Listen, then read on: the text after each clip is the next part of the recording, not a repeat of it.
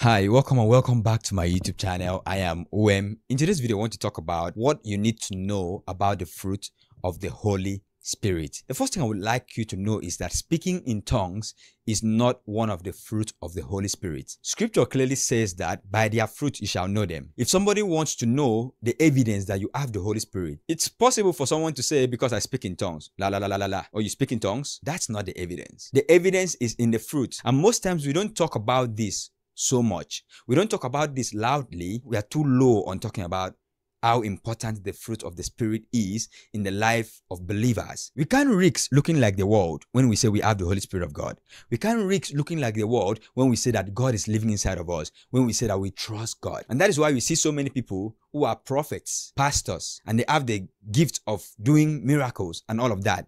But then when you check their life, doesn't even look like they know God. And it's the reason for a lot of deception in today's society and today's world because a lot of people have elevated, even in the church, they've elevated the aspect of the gift of the Spirit, the gift of the Spirit. Of course, there's a place for the gift of the Spirit, which is to edify the church, to encourage the church, to build up the church. But then the fruit is what shows is what represents Christ, that we are His. Doing evangelism, the true evangelism is your life.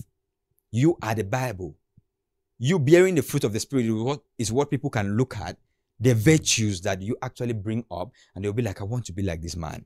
I want to be like that woman. What you need to know about the fruit of the holy spirit and there are nine fruit of the holy spirit. And one thing i want to point out again is that the fruit of the holy spirit are not nice gestures. Anybody can put up nice gestures and look good and treat people nice and all of that. Anybody can do that. That's not hard to do.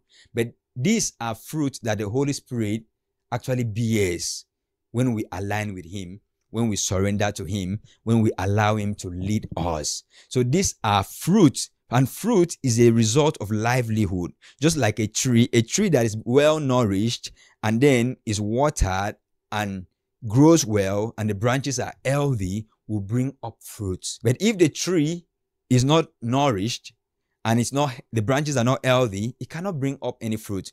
A mango tree bears mango fruit. That's why from the fruit you can know the tree. Apple tree, apple fruit. Orange tree, orange fruit. We that bear the image of God. We are supposed to bear the fruit of the Holy Spirit, not to walk in the works of the flesh. I will start with the first fruit, but the fruit of the Spirit is love. That's the first fruit. The reality is that this love mentioned here as a fruit of the Spirit is agape, the unconditional love. And we can speak as humans and say that it's not possible to have unconditional love as a human. Like I've been in a place that people have the argument that it is totally not possible to have agape love. Of course, with men, it is impossible. But with God, allowing the Holy Spirit to lead you, you can have unconditional love for people. Because we as humans, we don't have the capacity to have unconditional love. We can only have conditional love, which is I love you for you to love me back. If I love you, don't love me back, that becomes a problem. But then, through the Holy Spirit, we can love someone without expecting anything. That is the unconditional love through the Holy Spirit. And that's when you can know that it is possible. First Corinthians 13 states about this love. Love is patient, love is kind, love is selfless, it's not boastful, it's not prideful, it doesn't seek its own good, it seeks the good of others. Now, that is what that love portrays. And from that love, you can see how it springs up other fruits of the Spirit. Because the Bible says fruit is not fruits. There's no S. You can read Galatians 5, verse 22. It said, But the fruit without an S of the Spirit is, not are. So it starts with love, which means you need to understand and know the love of God. Because we always do say, if you do not have something you cannot give out. You can't give what you do not have. So if i do not have unconditional love how? Mm, how can i give unconditional love without having one? If i am believing god that i need to do something to deserve the love of god to deserve god looking at me twice to deserve god blessing me I cannot know how to bear the fruit of the Spirit because I am still walking in the works of the flesh. I'm still being legalistic. It is until I understand that in this is love, not that we love God, but that He loved us and gave His Son as a propitiation for our sins. That God loves us unconditionally, not asking for us to love Him. But then His love then compels us for us to want to love Him because His love is so abundant. So the reality is, when we come to understand the love of God and accept the love of God, that love through the Holy Spirit now start brooding in our heart. And we cannot help but give out unconditional love to other people. This is not, this doesn't mean that you're going to be perfect at this, but it means that every time you're conscious of, I want to give unconditional love, just like God loves you. So, which means when you get married, you can give your spouse unconditional love because it is a safe space that you can do that. And that doesn't mean that you are naive. That doesn't mean that you are forgetful that people would want to use you for giving unconditional love. But because it is the fruit of the Holy Spirit, it is not from your efforts that you are trying to do this. It is the Holy Spirit guiding you through His wisdom to just love people. And the point I would say here is because it is unconditional love, it is not selective. It doesn't select because you like this person, though you love them. You give them unconditional love. So the other person that you do not like, you can't love them unconditionally. No, it will not be selective. It will be like the way you treat this person you treat the other person the same way and you treat the next person the same way. Now, when you get to like someone, they can really see you for who you are and you can pour that love in full measure to them. But everybody can see you that this is who this person is. This person just has love. This person is a patient person. This person is a kind person. The second fruit is joy. And I will go a little faster on this.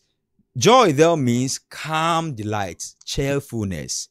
It does not mean excitement or happiness.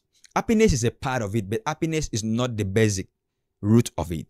The root is you just being cheerful. And as a fruit, you realize that the fruit of a tree is enjoyed by others, not the tree itself, which means the, the tree is happy to represent itself. The tree is satisfied with just bearing fruit because that is its work. It keeps bearing fruit and then the fruit is enjoyed by others, which means for you to bear the fruit of joy, through the Holy Spirit, you are this person that when you enter the room, that room lights up. You don't need to crack a joke. It is just a matter of presence.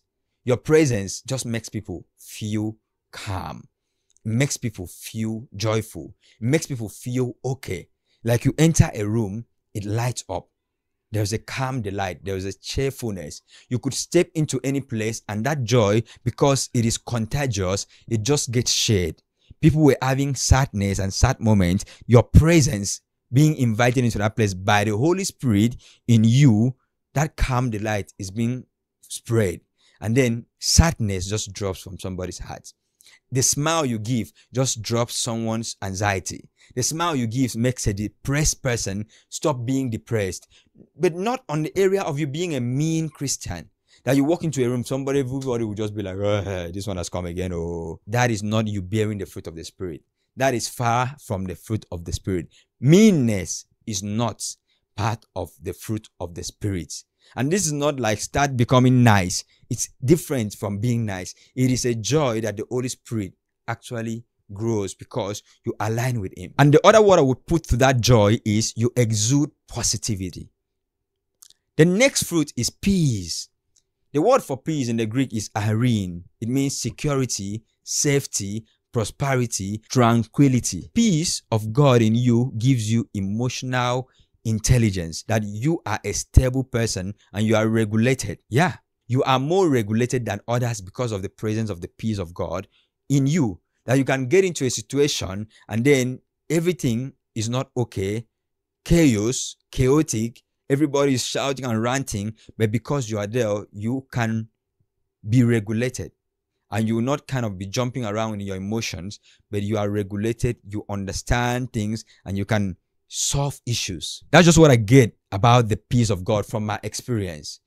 That emotional regulation, that you are not overtaken in your emotion. There's kind of this balance to you. There's kind of this stability to you. And there is safety which others will enjoy that fruit by when they are around you. Even when everything is not okay, they feel the sense of safety. When they are around you, they feel a sense of security. When they are around you, they feel the sense of tranquility. And this is beyond peace of the mind. It is a peace that is transcendent. That because people are around you, that safety is there, that security is there. If you're in a relationship, your partner can really feel that security and safety because you have the fruit of the Holy Spirit called peace. The next one is patience. Patience, the word I saw is longanimity. I've not heard this word before, but the word I was studying, I saw the word. It is Also, another word is fortitude, which is the strength of mind that helps one to endure adversity with courage. It means you are someone that can be with others. It means you are someone that can tolerate others. Of course, it's not like being tolerating people to a point that they can use you and do anything to you. Not that. Of course, you're working in wisdom, but then you can tolerate people. You can give people grace. You can be patient with people. You can be patient with people that are not thinking like you, people that are not like you, and you can go study this. But I'm just sharing what you need to know about the fruit of the Spirit. This is what represents you as a child of God. Because this is actually the picture of Jesus walking on earth. The patience he exuded with people you would imagine that if Jesus didn't have patience, him talking with the Pharisees would have been a full out, full blown out war because he had power to destroy all of them at once. He had power to have dealt with them. And it is very crucial for you to note that if you are someone in a position of power, you need to have patience. You really need this fruit of patience. You really need the fruit of the Spirit, all of it. Because you can be mean instead of being joyful. Because you can hate instead of loving. Because you can do anything. You can destroy people with your power instead of being patient and being able to tolerate them and work with them because everybody has a different ability. The other thing about patience is that patience is not about how long you wait, but how good mannered you are waiting. Are you waiting with a good manner? That's why you can say that Joseph had patience because he was so good mannered in the prison, even when things were not working well. Even when the time was as if time was against him. He stayed in the prison for a long time, and the person interpreted dreams for did not remember him, and that did not make him bitter. When you are waiting in God, it is also slowness in avenging wrongs. That's how that fruit is being communicated to others. You are slow to avenge wrongs. And I will speak on myself here because being in relationship, I've discovered that sometimes when my partner does something, I feel like doing it back to them. I feel like avenging. Maybe it not it doesn't have to be something big, but you feel like giving someone the same energy they give you. And over time, recently, God has been really nudging my heart not to return back energy for energy. Mm. Eye for an eye. you know, like it is not the fruit of the spirit. Avenging wrong because they, they, they gave you that energy, so give it back to them. They can give you a wrong energy, you avoid them. You don't have to give them a wrong energy, you can give them the opposite of what they give you. It doesn't matter, it hurts, it's not going to be sweet to your flesh, but then it's going to be helpful to your spirit because it's not going to drop bit of bitterness in your heart. It's not going to drop things and get you to a place of starting to think about things you're not supposed to think about or getting to a place of anxiety that you're not supposed to have. It's going to really help you because the fruit of the spirit does not just help other people, it helps you too.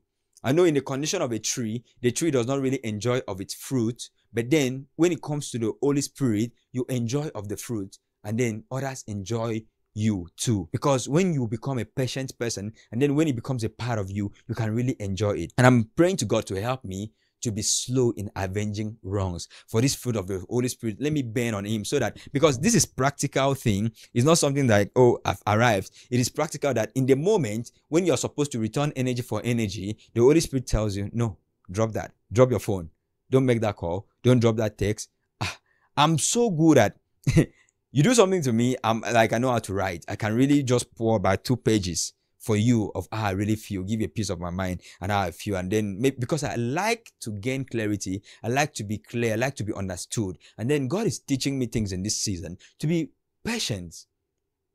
That it, it doesn't really matter if, if I get if, I, if I'm understood and then there's still no peace. So what is the essence of being understood? Because I can then pour out my mind to be understood and then at the end of the day, what happens? It doesn't help me. It is a level of coming to a place of constancy of saying, I'm going to remain who I am, and whatever you do is not going to change who I am. And if you'd like to watch the second part of this video, because I don't want to take it too long, for us to talk about the other fruit of the spirit, subscribe to this channel and like this video and wait for it the next week when it is released. And do not forget to drop your comments on this video and let me know what you think. Thank you so much for watching today's video and remain blessed.